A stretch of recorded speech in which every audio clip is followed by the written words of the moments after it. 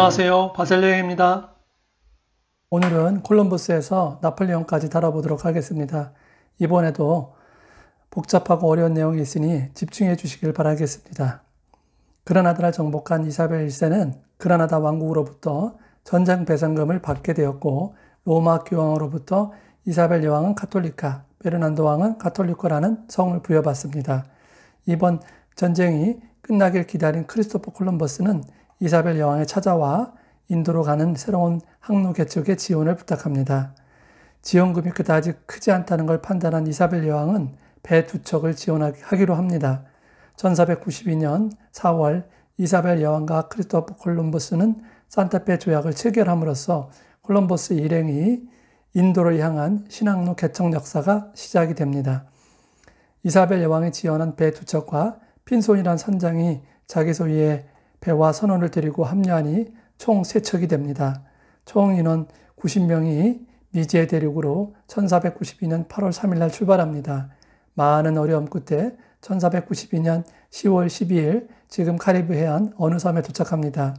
콜럼버스는 너무 기쁜 나머지 도착하자마자 땅에 입을 맞추고 그곳을 산살바드라 불렀고 스페인, 포르투갈, 미국, 캐나다, 중남미 많은 국가 역사의 새로운 시작점이 되는 중요한, 중요한 순간이었습니다. 지금도 그 섬은 산살바도르라 부르고 있습니다. 1차 항해를 성공으로 이끈 콜럼버스 일행은 39명의 부하를 산살바도르에 남겨두고 바로 선란하로 귀환해서 여왕님을 아련합니다. 2차 항해에는 1700명과 15척의 배를 지원을 받아 아메리카에 도착을 하고 하였는데 두고 온 39명이 모두 이미 식인종에 잡혀먹은 사건이 발생하였습니다. 신대륙 개척에 험난한 시대가 접어듭니다. 이사벨이란 도시를 건설하고 금과 향신료를 얻기 위해서 많은 노력을 했지만 생각했던 것에 미치지 못했고 원주민들에게 노동과 학살을 함으로써 훗날 본토로부터 문책을 당하게 됩니다. 스페인으로 귀환하여 유죄 판결을 받고 감옥 생활을 하게 됩니다. 결국 네 번의 신대륙 항해를 하게 되지만 신대륙 항해는 큰 성과를 얻지 못합니다. 1504년 이사벨 여왕이 돌아가시며 모든 지원이 끝나게 되고 콜럼버스도 1506년에 사망합니다. 이사벨 여왕이 돌아가시고 둘째 딸 후아나가 여왕으로 등극하지만 남편에 대한 사랑과 지착으로 미친 여왕으로 몰려 아버지 페르난도 아라곤 왕이 섭정하게 됩니다. 페르난도 왕은 1516년에 사망하시고 후아나 여왕의 아들 까를로스 1세가 16살에 왕위로 올라 어머니 대신 카스티야 레온, 아라곤, 아메리카 대륙을 섭정합니다. 3년 후 할아버지 막시밀리안 황제로부터 신성 로마 제국을 유산으로 받아서 신성 로마 제국 황제를 겸하게 됩니다. 합스부르크 가에서는 카를 5세라고 부릅니다. 스페인에서는 카를로스 1세, 동일한 인물입니다. 1523년 코르테스가 지금의 멕시코인 아즈텍 제국을 정복하고 1532년 피사로가 지금의 페루, 칠레인 잉카 제국을 정복합니다. 이로써 에스파냐는 유럽 최강의 국가로서 대제국이 탄생합니다. 하지만 마르틴 루터가 1517년 종교개혁이 일어나서 카를로스 1세는 카톨릭의 황제로 생애 대부분을 종교개혁을 막기 위해서 전쟁터에서 보내게 됩니다. 그는 1556년 스페인과 아메리카를 아들 펠리페 2세에 물려주고 신성 로마 제국을 동생 페르디난트 1세에게 물려줍니다. 그리고 1558년 수도원에서 운명하였습니다. 아들 펠리페 2세도 종교개혁을 막는 전쟁에 최선을 다했고 그 재임 시절 오스만 투르크와 전쟁을 했는데 그리스 레판토 지역에서 1571년 승리를 이끌면서 스페인 해군을 무적 함대라는 이름을 갖게 됩니다.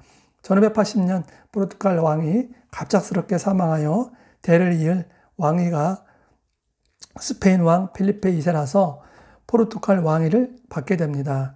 이로써 스페인은 포르투갈 연합왕국이 탄생하게 됩니다.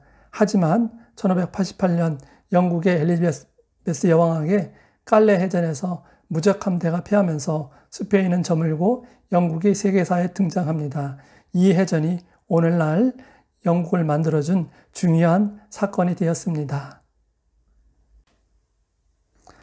필리페 2세, 필리페 3세를 거쳐서 필리페 4세가 왕이 되는데 재임 기간 중에 1618년부터 1648년 유럽 30년 전쟁이 일어났고 이 전쟁 후 네덜란드가 에스파냐로부터 독립하게 되고 일부 영토를 잃게 됩니다. 펠리페 4세는 1665년에 사망하고 4살 까를로스 왕자가 까를로스 2세로 왕위에 오릅니다. 그가 스페인 역사의 유명한 바보왕 까를로스입니다. 1661년에 태어났고 몸이 허약하고 주걱턱에 하체가 힘이 약하여 책상과 벽을 짚고 일어났다는 로마 교황청 사절단의 기록이 지금도 남아 있습니다. 무엇보다도 왕비 두 명이 있었지만 자식을 두지 못했습니다. 스페인의 왕위를 이어갈 수 있는 자손이 없기 때문에 스페인 국가의 운명은 풍전등화에 놓이게 됩니다.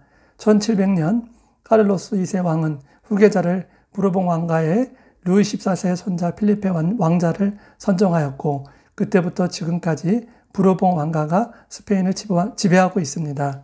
그래서 스페인은 입헌 군주국의 나라이고 국가명은 Reino de España라고 부르고 있습니다.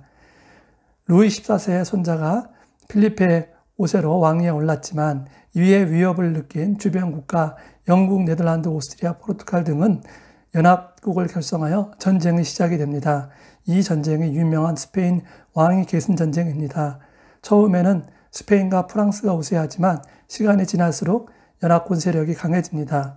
전쟁 말기 오스트리아 합스부르크 군사들이 마드리드까지 공격을 준비하는데 이에 영국은 불안을 느꼈고 정쟁이 끝나도 영국에게는 에게는 이점이 없다고 판단하여 영국이 주선이 되어서 스페인, 프랑스 연합 국가 간의 종전 협약을 하게 됩니다. 연합군이 원하는 건 스페인 왕은 프랑스 왕이 될 수 없고 프랑스 왕은 스페인 왕이 될 수 없다는 것을 서약하는 것이고 스페인이 원하는 것은 왕 필리페 5세의 왕위를 인정받는 것이었습니다. 그리하여 1713년에 협약이 이루어지고 영국은 스페인으로부터 종전 협상 대가로 스페인의 메노르카 지브롤타를 얻게 됩니다. 또한 프랑드르 지방 벨기에가 1713년에 스페인으로부터 독립을 얻게 됩니다. 오스트리아는 스페인이 지배했던 이탈리아 남부 나폴리 북부 일부 지역을 얻게 됩니다. 하지만 이베리아 반도에서의 전쟁은 아직 끝나지 않았습니다. 스페인 프랑스 연합 부르봉 왕가는 카타르냐 지역과 전쟁을 했고 그 전쟁은 1년간 지속이 됩니다. 드디어 바르셀로나가 1714년 9월 11일 날 함락이 되고 이들의 주권은 완전히 아, 뺏어버립니다. 이것이 발단이 되어 지금까지 카타르냐 주는 독립운동을 하고 있습니다. 스페인의 지속적인 요구로 메노르카는 1800년 이후에 반환이 되지만 지브롤타는 지금까지 스페인과 영국 간의 영토 분쟁을 하고 있습니다. 그 이후 스페인 부르봉 왕가는 프랑스의 영향을 받고 아무 실속 없는 폴란드 왕의 계승 전쟁, 오스트리아 왕의 계승 전쟁 등에 참가하여 국력이 훼손되었습니다. 까를로스 3세에 이어 까를로스 4세가 1788년부터 스페인 왕이 되는데 까를로스 4세 재임 시기 국제적으로 많은 변화가 오게 됩니다. 1789년 프랑스 대혁명 이후로 자유평등 박애라는 사상이 식민지 국가에 퍼져나갔으며 까를 4세는 국사에 관심 없고 사냥을 즐겼던 왕으로 정치는 마누엘, 고도이에 맡겼습니다. 왕비 마리아 루이스는 마누엘 고도이의 애인이었고 이것은 결국 국민들의 분노를 사게 됩니다. 프랑스에서는 1804년 나폴레옹이 황제로 즉위하고 나폴레옹은 1806년 영국과 교역하지 말라는 대륙 봉쇄령이 내려집니다. 하지만 러시아와 포르투갈이 영국과 교역을 지속적으로 하게 됩니다. 이에 나폴레옹은 포르투갈을 공격한다, 공격을 단행합니다. 포르투갈 공격한다는 구실로 스페인 땅에 프랑스군이 들어왔고 스페인 주요 도시 지역에 프랑스군을 배치합니다. 이에 분노한 스페인 국민이 페르난도 왕자가 왕자와 함께 반란을 일으켜 마누엘 고도이와 까를로스 4세를 몰아냅니다. 그리고 페르난도 왕자가 페르난도 7세로 즉위합니다. 이때 나폴레옹은 카를로스 4세와 페르난도 7세를 중재를 한다는 이유로 프랑스 바이온이라는 곳으로 불러 아버지와 아들을 붙잡아 프랑스 성에 유배를 시키고 형 조셉 보나파르트를 스페인 왕으로 오게 하니 그가 호세 1세 스페인 왕이 됩니다.